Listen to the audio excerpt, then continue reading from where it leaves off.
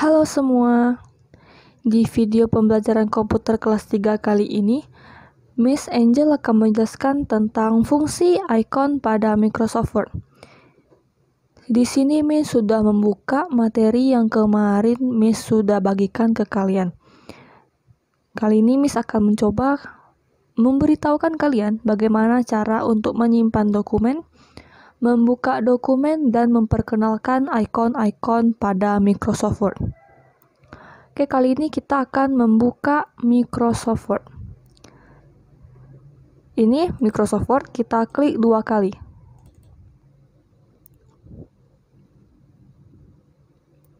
Oke, beginilah tampilan awal dari Microsoft Word.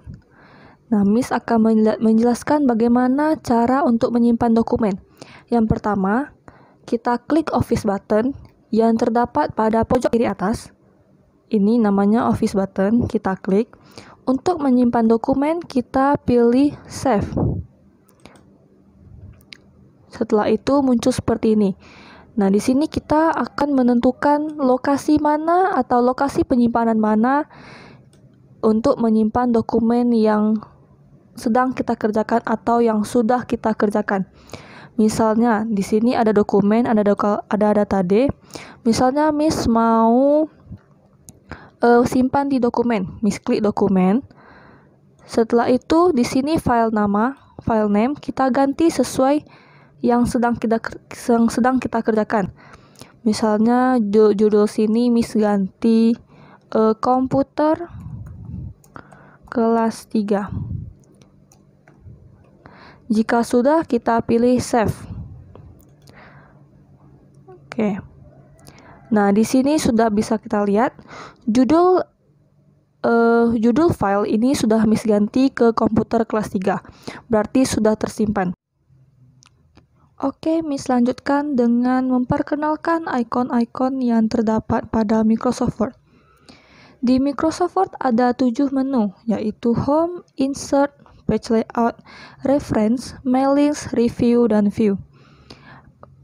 Miss akan menjelaskan dari menu home terlebih dahulu. Kelompok menu home ada clipboard, font, paragraph, styles, dan editing. Miss akan mulai dari clipboard dahulu. Di clipboard ada icon yang namanya cut, copy, dan paste yang paling sering kita gunakan. Oke, Miss akan mencoba untuk mencontohkan satu persatu. Di sini misalkan ketik misalnya mikro Microsoft Word. Oke. Miss akan mencoba untuk copy, cut, dan paste. Pengertiannya adalah cut adalah untuk memotong teks atau objek yang terpilih. Kalau copy untuk menggandakan teks. Sedangkan paste adalah untuk e, menempelkan hasil cut atau copy yang, yang yang sudah kita pilih. Oke, misalnya nih, ini Miss mau copy, Miss block, klik kiri mouse, tahan Miss block, terus Miss klik kanan, Miss pilih copy untuk menggandakan teksnya. Lalu misalnya nih Miss enter sekali, Miss mau tempelkan yang tadi Miss copy ini ke bawah sini. Miss klik kanan mouse, Miss pilih paste. Tuh, menggandakan jadi ada dua. Kalau cut sama. Kalau cut caranya sama, tinggal di blok, klik kanan pilih cut. Tapi kalau cut dia langsung hilang. Tapi kalau misalnya kita paste, dia ada lagi. Oke. Itu untuk cut, copy, dan paste. Sekarang kita beralih ke menu font. Menu font di sini ada font, untuk mengganti gaya tulisan. Di sini ada banyak sekali. Terus ada font size untuk mengganti ukuran tulisan. Semakin besar angkanya, semakin besar tulisannya. Lalu di sini ada font style yang terdiri dari bold untuk menebalkan tulisan, italic untuk memiringkan tulisan, dan underline untuk menggaris bawahi tulisan. Terus di sini yang AB ini, ini namanya highlight color atau stabilo. Di sebelahnya yang huruf A ini namanya font color untuk mengubah warna tulisan. Miss akan mencoba untuk mempraktekkan satu persatu. Oke. Misalnya kita mau ganti gaya tulisan. Kita mau ganti tulisannya. Caranya Miss Block.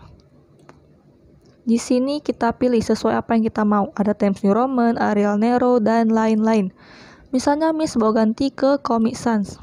Tuh. Berbeda atau Miss mau ganti ke font yang namanya Arial Nero. Tuh. Atau misalnya Miss mau buat tegak bersambung. Miss pakai font ini. Tuh. Bisa. Terus Miss mau besarin tulisannya. Sama, kita mesti blok dulu. Kita untuk memperbesar tulisan, kita pakai font size yang di sebelah font itu. Semakin bawah, semakin besar. Nih kita buat biasanya 12. Oke.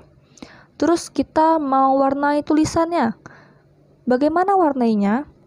Kita ke yang huruf A ini. Kita klik panahnya, kita pilih warna apa yang mau kita pilih. Di sini Miss ganti warna merah. Oke, selanjutnya Miss mau coba uh, untuk menebalkan tulisannya. Menebalkan tulisan tadi kita pakai yang namanya bold. Kita klik saja. Lebih tebal. Nah, kalau italic atau memerengkan tulisan, dia seperti ini. Ini italic kita klik. Tulisannya miring. Dan kita coba untuk underline. Tuh. Jadi ini hasil dari bold, ini hasil italic, dan ini hasil dari underline. Oke, sekarang Miss mau coba lagi untuk di kata yang kedua ini Miss mau untuk memberikan stabilonya. Miss pakai yang namanya highlight color klik panahnya. Di sini tinggal kita pilih warna-warna apa saja yang mau kita mau. Ini misalnya Miss pilih warna kuning. Tuh sudah diberi stabilo menu font sudah kita beralih ke menu paragraf Menu paragraf di sini kita akan belajar dulu tentang perataan teks. Perataan teks ada empat, ada kiri, tengah, kanan, dan kiri kanan. Oke, Miss akan contohin. Kalau misalnya kita mau buat teks rata kiri, kita lihat eh, teksnya itu atau kalimatnya itu lurusnya di mana. Kalau ini lurus di kiri, berarti ini memakai perataan teks kiri. Di sini misalnya Miss mau buat ke tengah, Miss block, Miss pakai perataan teks tengah. Tuh. Maka hasilnya dia akan ke tengah. Lalu misalnya ini, Miss mau pakai perataan teks kanan. Kita bedanya ya. Oke. Ini bedanya dari perataan teks kiri, perataan teks tengah, dan perataan teks kanan. Bagaimana dengan perataan teks kiri dan kanan? Di sini Miss akan buat teks yang lebih panjang. Misalnya um, Microsoft Word adalah aplikasi pengolah kata yang dirancang oleh Microsoft Core Corporation um, oleh penciptanya Bill Gates. Gini. Nah, ini Miss Block Ini Miss blok, lalu Miss coba pakai perataan teks kiri dan kanan. Tuh. Hasilnya di sebelah kirinya lurus, di sebelah kanannya juga lurus. Coba lihat perbedaannya. Perataan teks kiri kanan sama perataan teks kiri. Ya. Beda bukan? Perataan teks kanan, eh, perataan teks kiri dan kanan itu kirinya lurus dan kanannya juga lurus. Oke, Miss rasa begitu saja yang bisa Miss jelasin. Untuk pertemuan berikutnya, Miss akan berikan materi tentang Microsoft Word lagi. Oke, sampai jumpa di video pembelajaran berikutnya.